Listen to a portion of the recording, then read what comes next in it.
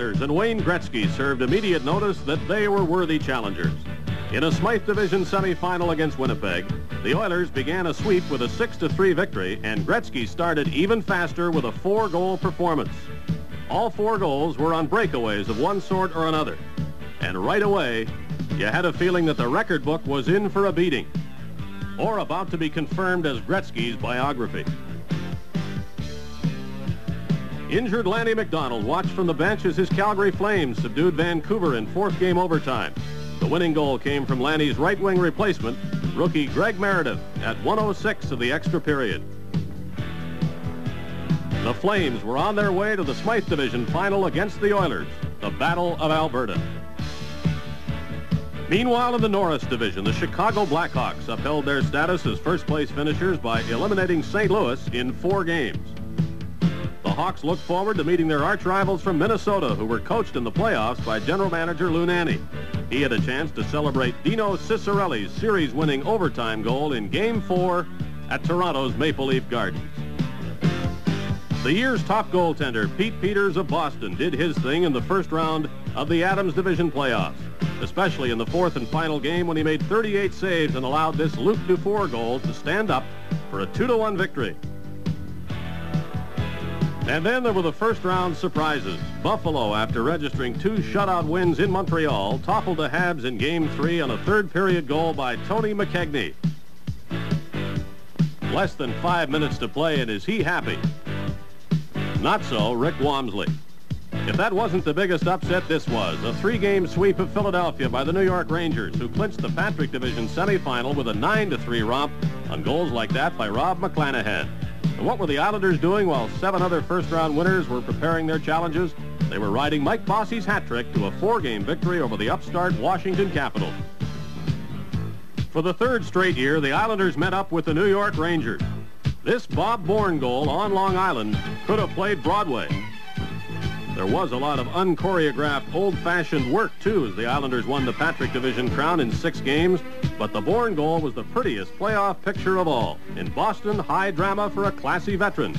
Here's Park, the draw, the shot. It trickles in. It's knocked away. Park with it. Scores! Brad Park wins the game. Brad Park, a rebound, and the Bruins win. Three to two. The faceoff won by Pederson back for Park. The first one blocked. And Park drove it home, and the Bruins beat the Islanders on Tuesday night two minutes played. Brad Park's second goal of the night, and Boston wins it. In the Norris Division Final, Minnesota's suicidal habit of allowing shorthanded goals strikes again. Chicago's Rick Paterson clinched the Hawks' five-game victory before another stadium sellout. The Battle of Alberta opened with four Mark Messier goals in Edmonton's 6-3 win over Calgary. But Wayne Gretzky remained the hottest of the Oilers with his second four-goal game a few nights later.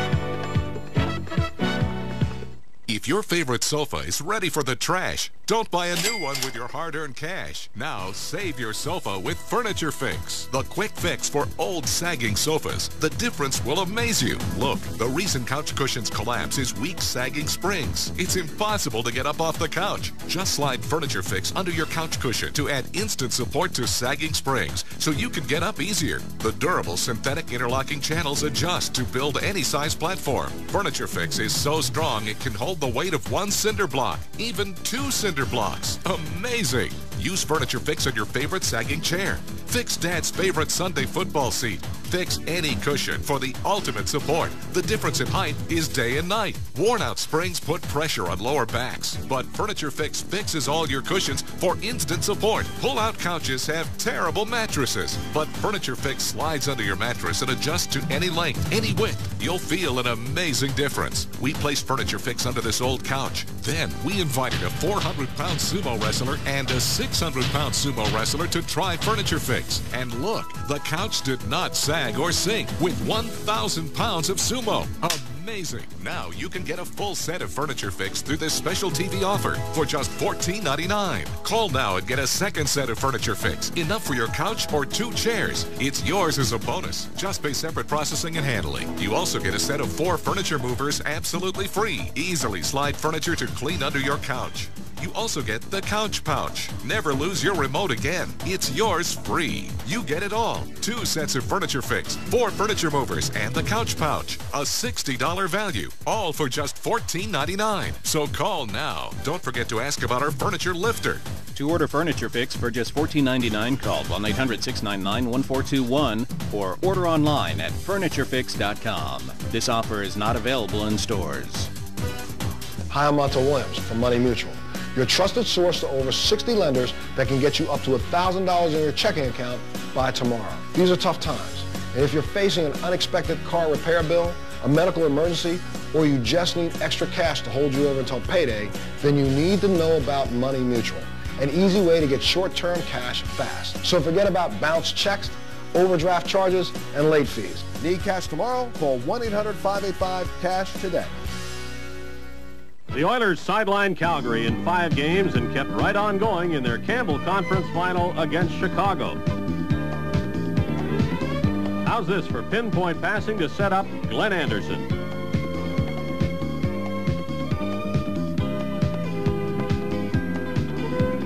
The series opener featured two shorthanded goals by Jari Kurri, both set up by Gretzky. Now he sees him, and now he doesn't necessarily have to see him to put the puck on his stick. The Oilers won 8 to 4. And in game two, Anderson became the third Oiler to celebrate a four-goal game, and Messier scored a hat trick. To this point, there was no stopping Edmonton.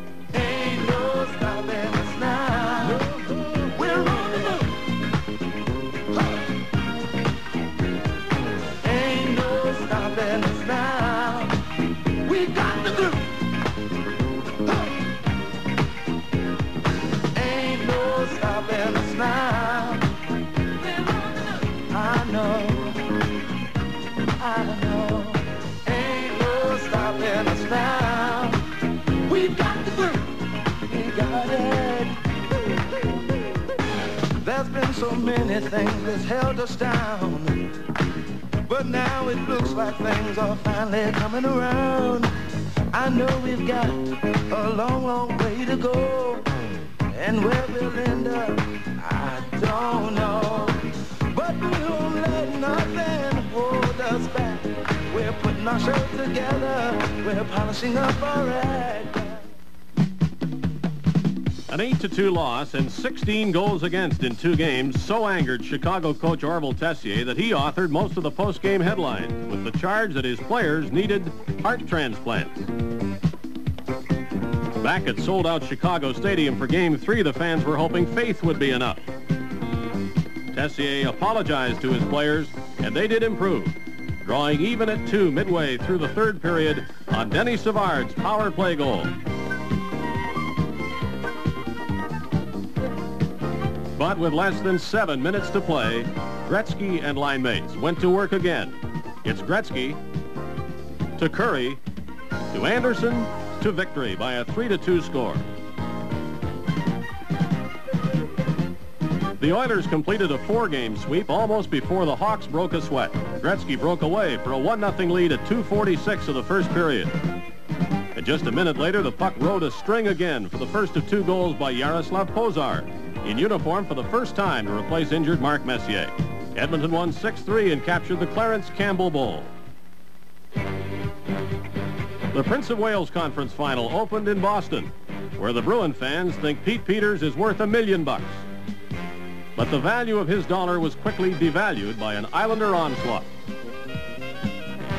Bob Bourne left the puck for Brent Sutter, and the Islanders took a first period lead. They followed with these second period goals. Defenseman Tomas Jonsson. Bossy on a power play.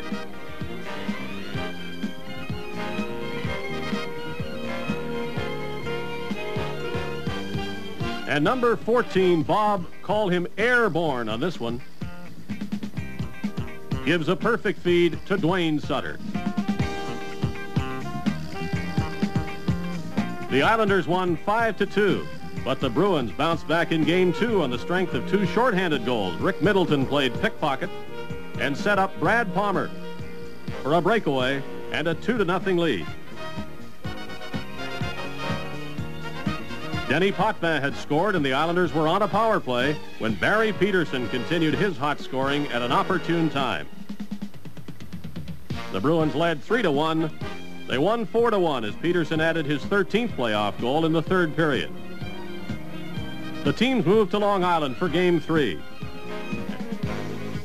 Watch him with the puck and without it as he jockeys for position, waiting, anticipating the chance to regain possession and then to score.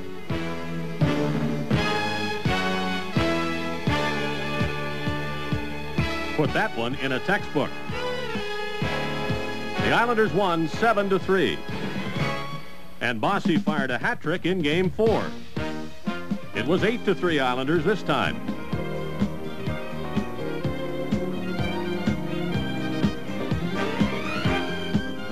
The Bruins were determined to stay alive on home ice and a typical roll-up-the-sleeves Boston effort ensued. The Bruins did fall behind, but then scored five straight goals, beginning with a Craig MacTavish marker. And they did force a sixth game.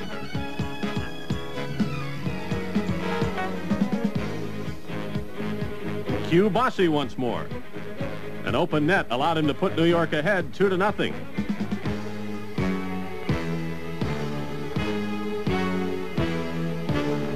Here's Bossy down the right side for a 4 to 2 lead. Now it's 5 to 3. And Mike has his choice of hats from many countries. But who's getting dressed? It's still the second period, and Bossy scores number four.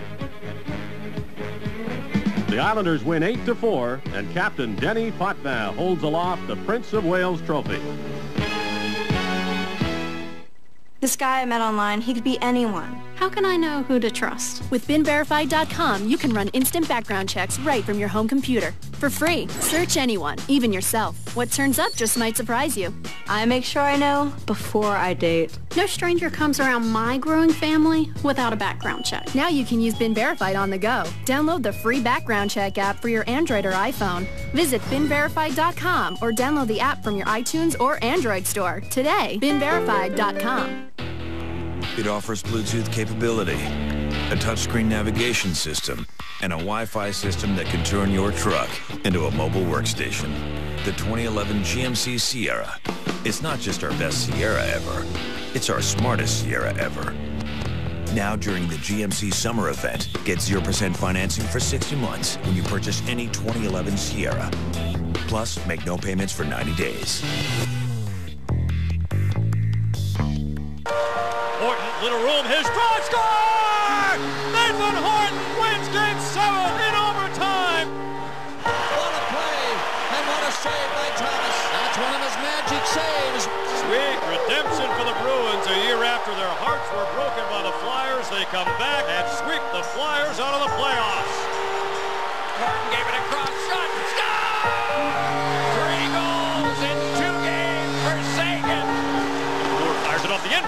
Downie trying to put it in, and Thomas going back with a stick to keep it out.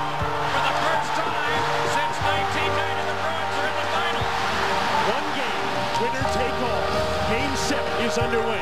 In front, score! Patrice Bergeron in the slot,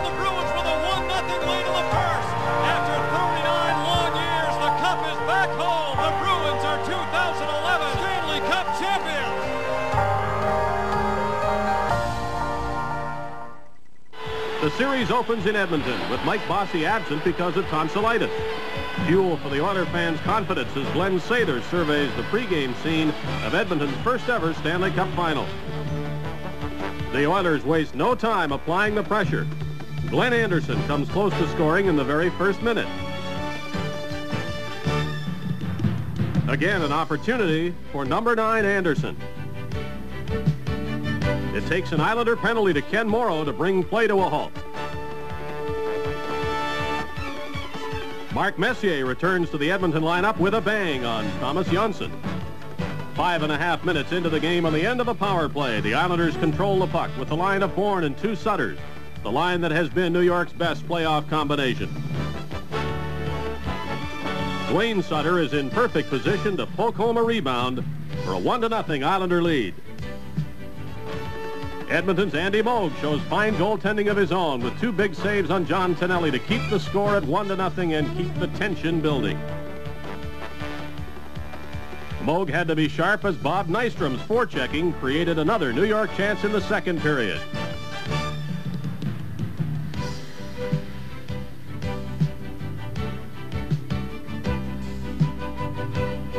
And a scramble at one end deserves the same at the other. This time, Nystrom's aggressiveness draws a penalty, but the Oilers still can't score. Watch Paul Coffey as he makes one of his patented end-to-end rushes. He thinks he's tied the score, but no, Smith has it.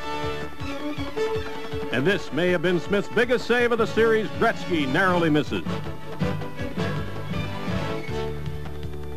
Again in the third period, Wayne is denied. And this time, Gretzky will pass to Anderson. The net is yawning, but the puck goes wide. The Oilers continue to flail away behind an attacking Kevin Lowe, but Smith is impenetrable. Right to the last half minute of play, the Oilers threaten to even the score. They outshoot the Islanders on the night 35 to 24, but nothing goes in. It's the first time in 198 games the Oilers have been blanked, and Ken Morrow finds the empty net at the other end. Morrow's third playoff goal on his way to equaling his season total of five. The Islanders win 2-0. Billy Smith is their hero and a villain in Edmonton. Finally, the Oilers beat Smith in Game 2. Edmonton's first goal of the series comes from Dave Semenko, the first playoff goal of his career. 8.39 of the first period. He had to take a hit from Dave Langevin to make the shot. Semenko, known for other methods, finds the best way to bother Smith. And now a moment that haunts Gretzky and the Oilers. Wayne hits the post where a 2-0 lead might have made a big difference in the game and the series. The Islanders go to work later in the period and expose the shakiness of Moog. Jonsson ties the score at 14-21. Bob Nystrom's shot fools the Edmonton goaltender on the short side three and a half minutes later. And with less than a minute to go, Mike Bossy's 16th playoff goal puts New York up by two.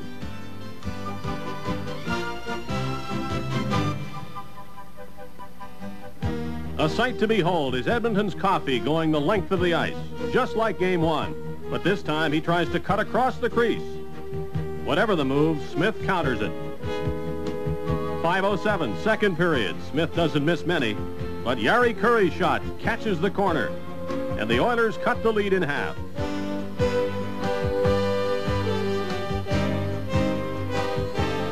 Then giveaways bury them. Messier loses to Duane Sutter, and instantly Bourne's got it in the net. 8.03, second period. Less than a minute later, Charlie Huddy tries to clear, but sends the puck right to Ken Morrow, back to Moog's doorstep and in for Brent Sutter's eighth goal. The helplessness of Moog's situation is seen from the goal judge's view. One minute, the puck appears to be out of danger. The next minute, it's in the net. Meanwhile, let's not forget Billy Smith. He provides another reminder of his excellence with a stop on Don Jackson. The Oilers enter the third period needing at least three goals. There's plenty of time left, more than 15 minutes, as Anderson tries to spark a comeback with his 10th of the playoffs. On that play, Gretzky sets a record with his 36th playoff point. But he is without a goal in the final. And as Smith turns back the Oilers one more time, Wayne's frustration becomes evident. Oiler owner Peter Pocklington's too. With less than six minutes to play, the Islanders end any doubt about the outcome of Game 2 with Brent Sutter's second goal of the night. The Islanders win 6-3 for a two-game lead, but two major penalties are left to sour the issue. Billy Smith's stick lands this time on Gretzky. Dave Lumley retaliates for the Oilers. The Islanders return home, thinking sweep. Sather looks up and thinks how nice it would be to win just one Stanley Cup. Or how about just one goal on Billy Smith to get things off to a good start? Smith remains tough. And Gretzky remains without a goal, though the chances keep coming. When the scoring opportunities aren't close in, Gretzky unleashes shots like this one. But Smith saves all kinds. Another look at the classic confrontation, shooter and stopper. On this Oiler chance, the puck actually lies in the crease before it is knocked away by Bossy. And after Morrow blocks a shot, Bossy is on his way to the other end with Anders Kallur. Kallur opens the scoring against a defenseless Andy Moog. The Islanders lead in the closing minute of the first period. The second period scoring is limited to a tying marker by Kurri of the Oilers. Gretzky won the draw and added to his point total. 1-1 going to the third period, but that final 20 minutes belongs to the Islanders. Bob Bourne, New York's scoring leader in the playoffs, works the corner of the rink and the corner of the net for a tap-in goal. Label this the beginning of the end for Edmonton.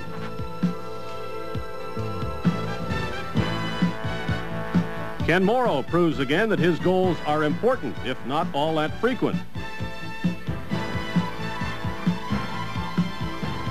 At the 6:21 mark of the third period, the Islanders lead 3 to 1. And their fans seem convinced they're the best. For good measure, they keep pounding away at Moog. And the Sutter brothers take turns padding their playoff totals. Duane scores from Bourne and younger brother Brent.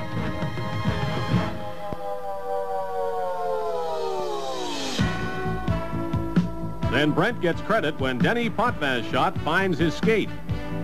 And then the net.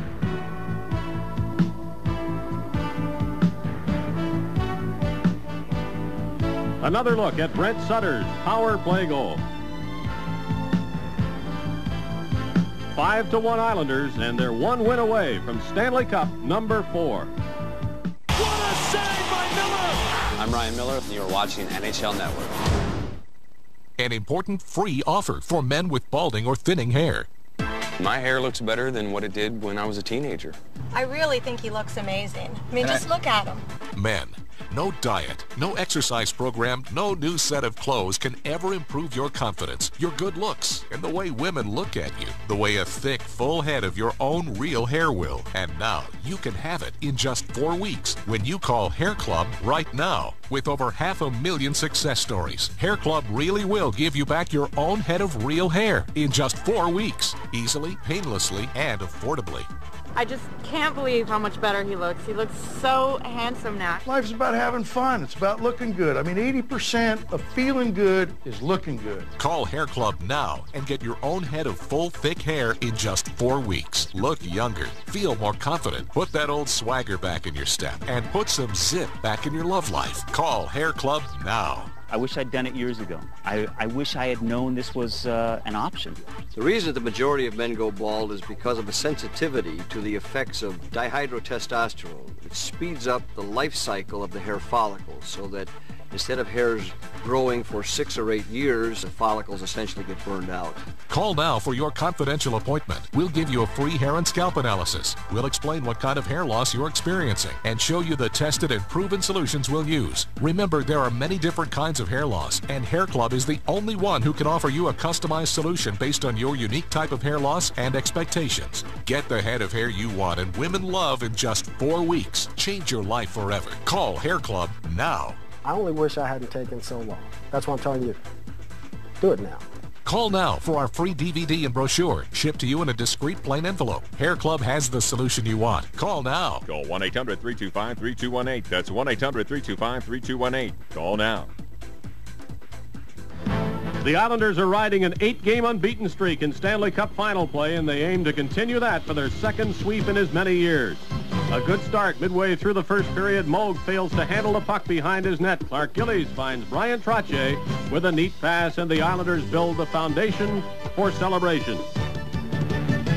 Less than a minute later, Paul Coffey is stripped of the puck, and Bob Nystrom gives chase. John Tonelli heads for the net, and the Islanders make it look easy.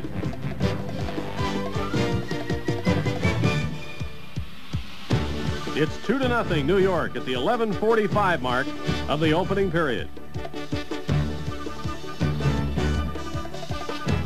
Less than a minute after that, Bossy is sent in alone by Bryan Trottier.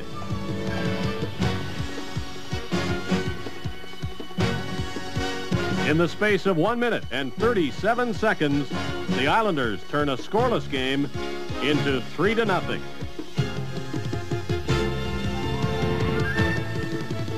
To the Oilers' credit, however, their effort does not wane. Early in the second period, Gretzky feeds Kurri from his favorite spot behind the net. Point number 38 for Gretzky. No goals in the final, but by now he'd settle for a few more assists. Always on the attack, Wayne is stopped this time. And the Islanders almost turn it into a goal at the other end.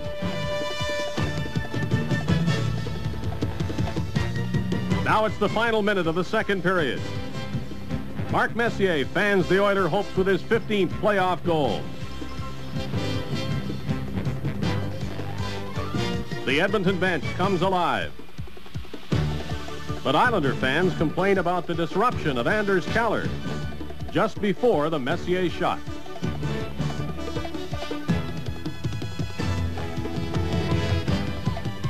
It's the third period with the Oilers on a power play. Smith again becomes the center of attention and controversy.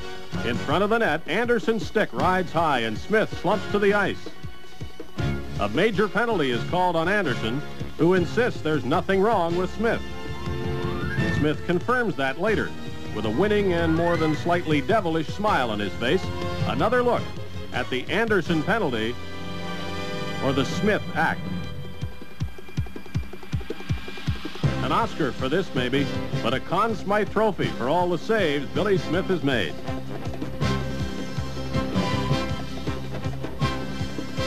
The scoreboard doesn't change during Anderson's five-minute sentence, so with just over a minute left, the Oilers are still frantically trying to get even. Scoring is out.